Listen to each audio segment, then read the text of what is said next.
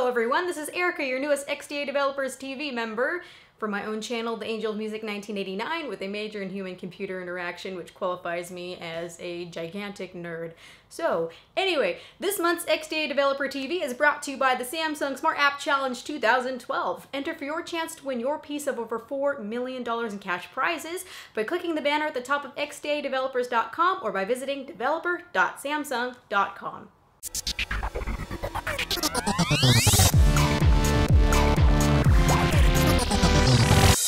So the topic that I'd really love to start shedding some light on today is fast dormancy. Unfortunately, not many people really know what fast dormancy is, how the network implements it, and how it helps to save battery life on your phone. I've been talking to Supercurio, and Supercurio went and talked to Brian Klug of AnandTech, who's been really interested in this topic as well. I went on XDA forums, and I've been seeing oh, so many people talking about this particular topic, so it's extremely relevant, and I'd love to get a lot of community involvement.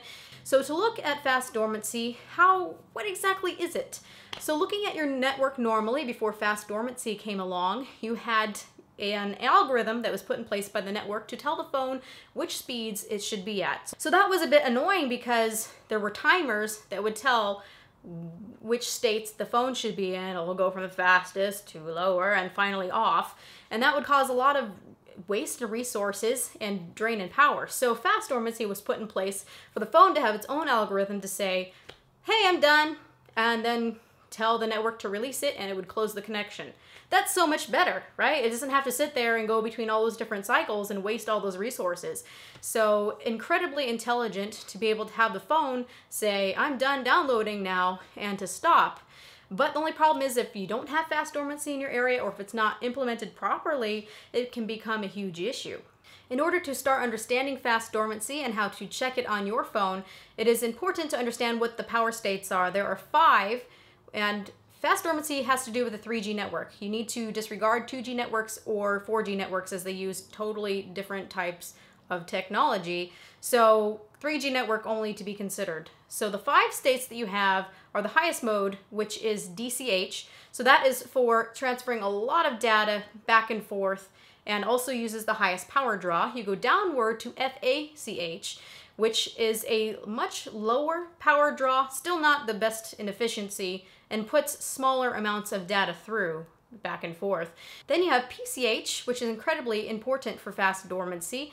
It is a connection that doesn't have any data being transferred back and forth, but it keeps a connection to the network so that the network doesn't have to reboot itself essentially and reinitialize.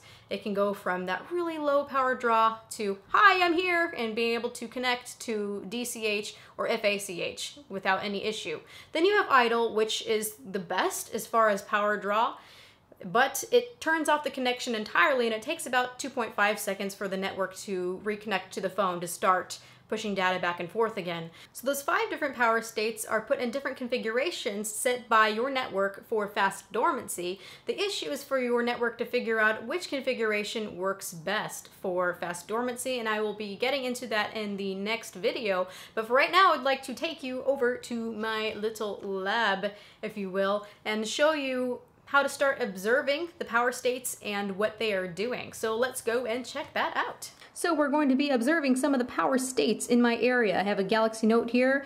I do not have fast dormancy in my area and I do not have it enabled on this phone. So you go under the dialer, push star, pound 0011 pound, and you can check out your service mode. This is enabled for the Galaxy S, Galaxy S2, Galaxy S3, and the Galaxy Note. I have not seen it available on the Galaxy Nexus. Now watch what I'm going to do here. I'm going to go over to my internet browser and I'm going to load XDA developers again.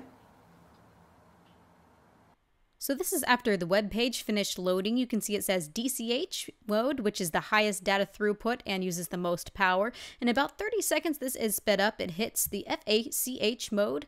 And then finally, after another 30 seconds, it decides to go to idle. Now that is not power efficient at all. You can tell that FD is not being used here because if you do see it there, it'll probably jump from the DCH mode to the PCH or maybe even idle so thank you all for watching. This has been at I am Erica, which is my Twitter. You can also follow me on my YouTube, which is the Angel of Music 1989, and I do reviews and such over there. So please rate, comment, and subscribe to this channel and being attacked by flies.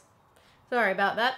Because it's super important to help us figure out what is happening, and it just really brings an awareness to this community that I've loved for so long. I've been here since 2007, basically, on the forums.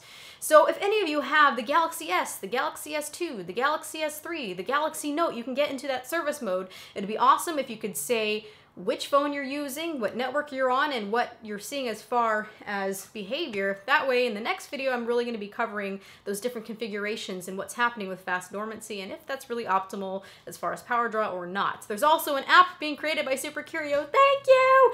And that will be helping to turn off fast dormancy if you don't have it in your area because it's really going to cause issues for you at that point. So have a wonderful day, you guys. Bye!